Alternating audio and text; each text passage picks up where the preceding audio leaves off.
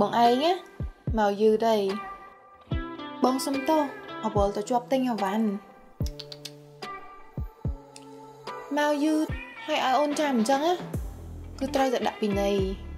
ចង់ដាក់ពិន័យបងមិនខ្លះម្ចាស់ស្រី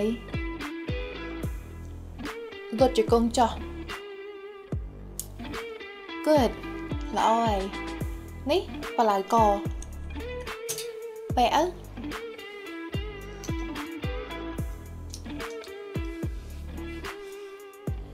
វាឲ្យចិត្តបន្តិចមកហើយត្រូវនិយាយមិនអរគុណម្ចាស់ស្រី ហើយត្រូវបំរើមិនខ្លះខ្ញុំនឹងធ្វើម្ហូបដែលម្ចាស់ស្រីចូលចិត្តហឹមហើយខ្ញុំនឹងងូតទឹកជូនម្ចាស់ស្រី ហើយត្រូវដាក់ទឹកក្តៅអ៊ុនអ៊ុនបាទហើយខ្ញុំនឹងរោយស្រទាប់ការកលាបចូលទៅក្នុងទឹកបន្ទាប់មកយកប្រេងម៉ាសាទៅម៉ាសាជើងម្ចាស់ស្រី ដែលចាប់ផ្ដើមត្រឹម ម្រាមជើងបន្ទាប់មកឡើងទៅកំភួនជើង ហើយឡើងទៅដល់ផ្លូវបន្ទាប់មកក៏បដូរពីប្រេងម៉ាសាទៅទឹករំអិល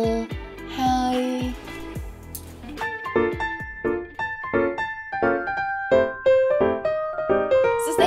រីករាយទិវានៃក្តីស្រឡាញ់ឲ្យតែនិយាយដល់ទិវានៃក្តីស្រឡាញ់ណាគឺខ្ញុំនឹកឃើញដំបូងគេគឺរឿង50 Shades of Grey ហើយណាមួយដោយសារតែរឿង50 Shades of Grey នេះគឺជាវីដេអូដំបូងគេបងដែលខ្ញុំបានធ្វើខ្ញុំធ្លាប់បានធ្វើវីដេអូតាក់ទងជាមួយនឹង BDSM តាំងពី6ឆ្នាំមុនមកម៉េះប៉ុន្តែថ្ងៃនេះចង់និយាយពីរឿងនេះម្ដងទៀតប៉ុន្តែនិយាយស៊ីជម្រៅម្ដងហើយនៅក្នុងវីដេអូនេះគឺយើងនិយាយអំពី DS អញ្ចឹងជាការណែនាំត្រួសត្រាសពាក្យ BDSM គឺមកពីពាក្យ BD bondage and discipline DS dominance and submission ហើយនឹង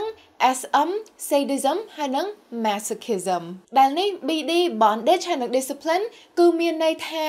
ការចងហើយនឹងការដាក់ពិន័យដល់ពេល S&M sadism ហើយនិង masochism គឺមានន័យថា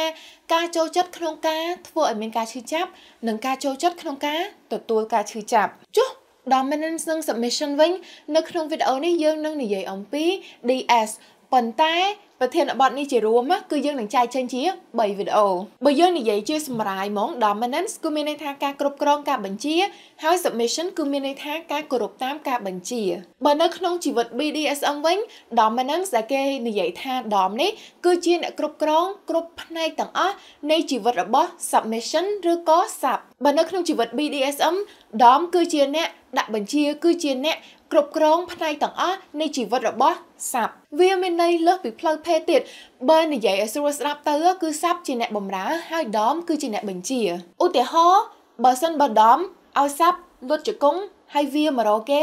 សັບគឺត្រូវតែធ្វើតាមប៉ុន្តែបើនៅក្នុងសកម្មភាពផ្លូវភេទវិញឧទាហរណ៍មួយចំនួនដូចជាដមប្រាប់ឲ្យសັບ ប៉ះកន្លែងណាមួយនៃរាងកាយរបស់គេគឺត្រូវតែប៉ះប៉ះខ្លួនឯងគឺត្រូវតែប៉ះហើយនៅក្នុងករណីខ្លះទៀតគឺដំប្រាប់សាប់ថា អត់ឲ្យដល់ចំណុចកំពូលទេតលតែគេអនុញ្ញាតឲ្យដល់ចំណុចកំពូលបើនិយាយទៅវាគឺដូចជាការសម្ដែងមួយអញ្ចឹងហើយដំមិនមែនសិតតែជាមនុស្សប្រុសទេនៅក្នុងករណីខ្លះដំក៏អាចជាមនុស្សស្រីហើយសាប់ក៏អាចជាមនុស្សប្រុសដែរប៉ុន្តែមុននឹងយើងនិយាយថាតើហេតុអីមនុស្សមួយចំនួនចូលចិត្តចូលរួមនៅក្នុងសកម្មភាពដំហើយនឹងសាប់ឬក៏ BDSM ជារួមយើងមកនិយាយអំពីការរក្សាសុវត្ថិភាពជាមុនសិនអ្វីដែលសំខាន់ជាងគេបង្អស់ដែលយើងត្រូវតែចាំគឺ ការព្រមព្រៀងទំនាក់ទំនង BDSM គឺតែងតែមានការព្រមព្រៀងជានិច្ចមានន័យថាដៃគូទាំងអស់គឺសុទ្ធតែព្រមព្រៀងដើរតួផ្នែកណាមួយឬក៏ចូលរួមសកម្មភាពណាមួយ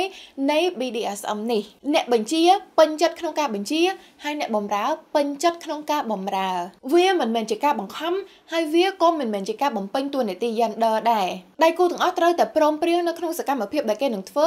ហើយគេដឹងជាមុនថាតើសកម្មភាពទាំងអស់នោះមានសកម្មភាពអីគេខ្លះហើយគឺត្រូវតែមានការជជែកជាមុនថាតើដែនកំណត់គឺត្រឹមណាមានន័យថាតើសកម្មភាពណាដែលយើងអាចធ្វើបានសកម្មភាពណាដែលយើងចង់ធ្វើសកម្មភាពណាដែលយើងមិនចង់ធ្វើការជជែកគ្នាជាមុនណាគឺសំខាន់ណាស់ក្នុងទំនាក់ទំនង BDSM ហើយចំណុចសំខាន់មួយទៀតគឺការរក្សាសុវត្ថិភាពដែលនោះរួមមានការរួមភេទដោយប្រើប្រាស់ស្រោមអនាម័យនិងការរួមភេទដោយសុវត្ថិភាពស្រោមអនាម័យគឺជួយការពារយើងពីជំងឺកាមរោគពីមេរោគអេដនិងការមានផ្ទៃពោះដែលមិនបានគ្រោងទុកហើយម៉ាកស្រោមអនាម័យមួយដែលខ្ញុំសូមណែនាំគឺស្រោមអនាម័យ masculine ស្រោមអនាម័យ masculine គឺជាស្រោមអនាម័យដែលមានរូបបេះដូងក្រហមដែលមានដល់ទៅ10ប្រភេទរួមទាំង extra long pleasure និង long pleasure special selection ដែលជួយឲ្យការរួមភេទបានកាន់តែយូរ ក្រៅពីនោះ masculine ក៏មានជាប្រភេទគ្រើមវ័នវ័នតកកនិងមានរសជាតិផ្លែឈើទៀតហើយ masculine គឺមានជាទឹករំអល់ទៀតដែលមានដល់ទៅ5ប្រភេទគឺมันមានក្លិនប៉ោមក្រអូប strawberry ក្តៅអូនអូននិងសូត្រទឹករំអល់ masculine គឺអាចជួយបន្ថែមរសជាតិអាចលេបបានហើយអាចប្រើដើម្បីម៉ាស្សាប្រដាប់ភេទបានទៀតទាំងអស់គ្នាអាចស្វែងរកទិញផលិតផល masculine បាននៅផ្សារទំនើប Aeon 1 Aeon 2ផ្សារទំនើប Chip Mong ឱសថស្ថានច័ន្ទពេញវងនិង Pharmacy Fairwell សម្រាប់ព័ត៌មានបន្ថែមទាក់ទងជាមួយនឹងស្រោមអនាម័យនិងទឹករំអល់ masculine ទាំងអស់គ្នាអាចទំនាក់ទំនងតាមលេខទូរស័ព្ទដែលមាននៅខាងក្រោមនេះឬក៏ចូលទៅ Facebook page របស់ Masculine Cambodia ដោយសារតែការព្រមព្រៀងនិងការរក្សាសុវត្ថិភាពគឺជារឿងមួយដែលសំខាន់ណាអញ្ចឹងបើសិនបើយើងចូលរួមក្នុងទំនាក់ទំនង BDSM អ្វីមួយដែលយើងត្រូវការមានណាគឺពាក្យសុវត្ថិភាព safe word ពាក្យសុវត្ថិភាពនោះគឺជាពាក្យដែលយើងសម្រេចគ្នាជាមុនមកហើយនៅពេលដែលយើងប្រើពាក្យនោះសកម្មភាពទាំងអស់គឺត្រូវតែបញ្ឈប់វាគួរជាពាក្យមួយដែលយើងអត់សូវប្រើឧទាហរណ៍ដំរីទឹក អញ្ចឹងបើសិនបើដៃគូរបស់យើងកំពុងតែធ្វើសកម្មភាពណាមួយដែលយើងអត់ពេញចិត្តដែលយើងអត់ចង់ចូលរួមអត់ចង់ធ្វើទេយើងនិយាយពាក្យនោះយើងនិយាយថាដំរីទឹកអញ្ចឹងសកម្មភាពទាំងអស់គឺត្រូវតែបញ្ឈប់នេះមានន័យថាយើង